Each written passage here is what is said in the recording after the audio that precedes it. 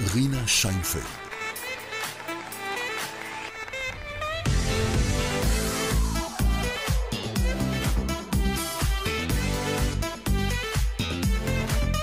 רינה שיינפלד, רקדנית, כוריאוגרפית ומורה למחול, נולדה בתל אביב בשנת 1938.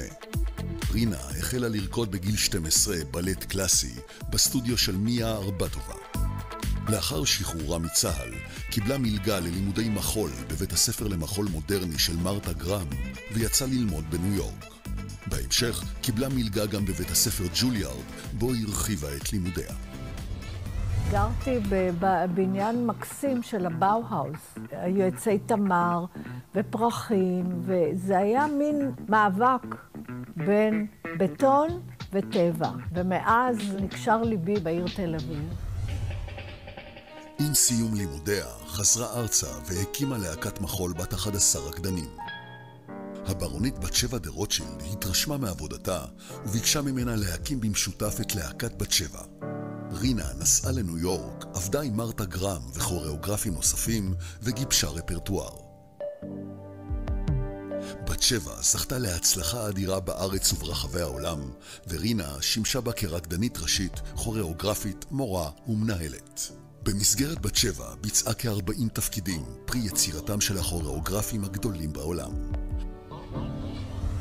כשאני יורדת ויוצאת לרחוב, רחוב סואן מאוד, יש שם מסעדות, יש שם עשייה, יש שם איזה קצב פנימי מרגש. אני אוספת איזה עלה שנפל מאיזה עץ, ומתענגת לראות מה קורה, מה מתרחש, כל הצורות, כל הצבעים, ההשתנות, ההתגלגלות, התנועה של העלה אפילו אחרי שהוא נפל מהעץ. זאת העיר בשבילי.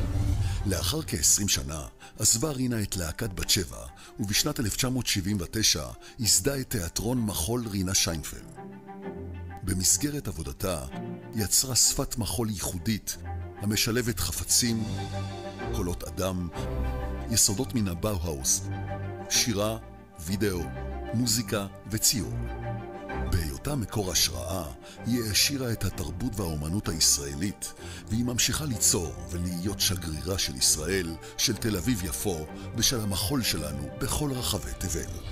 תיאטראות ישנים אני מאוד אוהבת, אוהל שם, נחמני, כל המקומות האלה בשבילי זה היסטוריה, אני אוהבת את הישן. אז אני מאחלת שיהיה איזשהו שיווי משקל.